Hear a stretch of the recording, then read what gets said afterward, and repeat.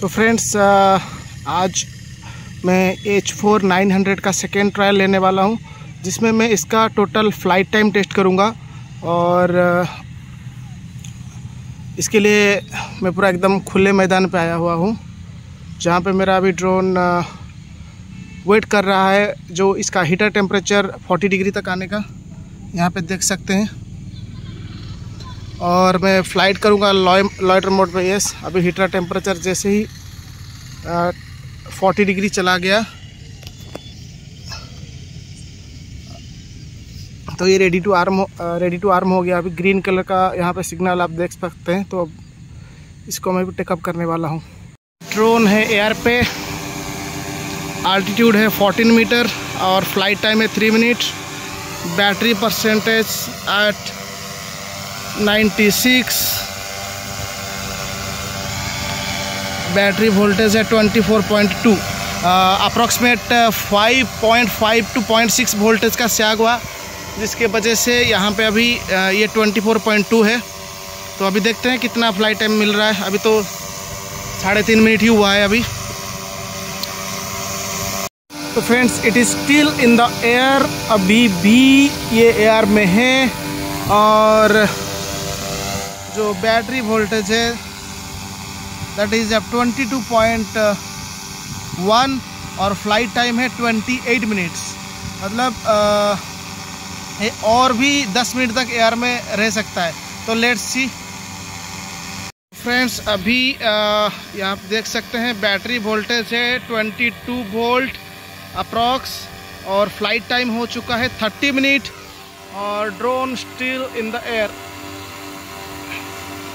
let's see ये और कितना फ़्लाइट टाइम दे सकता है।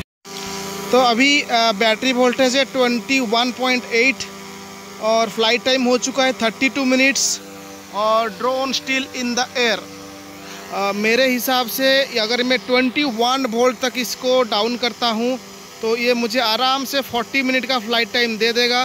बट मैं इसको 21.5 में ही इसको लैंड करवाऊँगा। तो जैसे ही मैं लैंड करवाऊँगा, मैं आपको दिखा दूँगा कि इसमें अभी बैटरी वोल्टेज क्या है और फ़्लाइट टाइम क्या है। तो टिल द टाइम अभी मैं सिंगल हैंडल कैमरा यूज़ कर रहा हूँ तो मैं भी ये लैंड करते टाइम आपको दिखा ना पाऊँ। तो जैसे ही मैं इसको लैंड करूँगा अगेन मैं आपको इस वीडियो में आपको दिखा दूँगा। अभी ड्रोन लैंड हो चुका है। फेल सेफ़ एंगेज हो गया। आ, मैंने इसको जो फेल सेफ़ है इसको 21.5 में ही एंगेज किया था। आ, तो जैसे ही 21.5 टच किया आ, तो ये हो गया लैंड तो ये 35 मिनट का फ़्लाइट टाइम यहाँ पे आप देख सकते हैं 35 मिनट का फ़्लाइट टाइम मिला मेरे को यहाँ पे। फ़्लाइट टाइम इज़ 35 मिनट और टोटल फ़्लाइट डिस्टेंस इसने 400 मीटर वैसे तो हबर ही कर रहा था। और यहाँ पे फ़्लाइट का जो voltage sorry battery voltage that is approximate 22 volt that means ये जो है पॉइंट फाइव वोल्ट का ही सैग हो रहा है। तो ऑब्वियसली बात है अगर इसको मैं ट्वेंटी वन वोल्ट तक लेके जाऊँगा फेल सेप को तो ये मुझे और फाइव मिनट्स का एक्स्ट्रा फ़्लाइट टाइम दे देगा।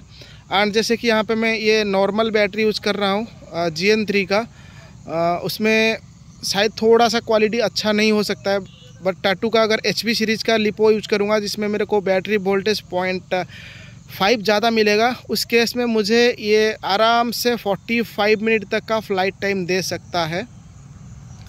तो वैसे भी ये जो ड्रोन है, ये अपना विदाउट पे लोड है और इस ड्रोन का वेट अभी three point five K G है। With battery five point five K G का है।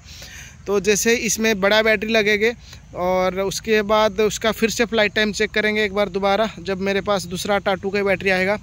अभी एक बार मैं आपको बता देता हूँ मोटर्स की कंडीशन वाह फ्रेंड अभी वैसे तो विंटर चल रहा है बट यहाँ पे मेरे गाँव में चारों तरफ़ अभी अंधेरा, कोई ठंडी नहीं है।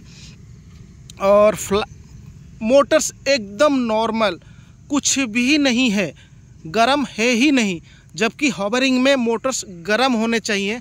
इसमें कुछ है ही नहीं जस्ट हल्का हल्का वार्म है।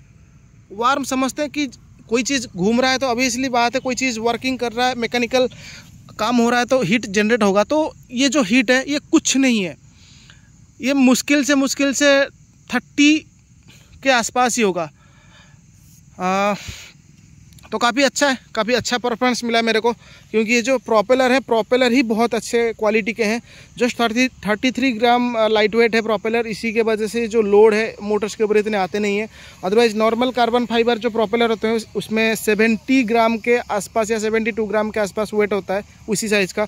तो उसमें शायद थोड़ा फ़र्क पड़ सकता है बट ये इतने सीरीज़ का प्रोपेलर है तो इसीलिए मोटर्स का कंडीशन भी बढ़िया है। अब रही बात इसकी बाकी ट्यूनिंग वगैरह के सब कुछ फ़र्स्ट क्लास उड़ रहा है। अभी नेक्स्ट टाइम इसको ऑटो ट्यून भी करेंगे और इसका जो डिजायर्ड पे लोड दैट इज़ वन के जी वन के जी डाल के इसका फ़्लाइट टेस्ट करेंगे, देखेंगे ये कितना टाइम फ्लाई करते हैं। तब तक के लिए thank you have a good day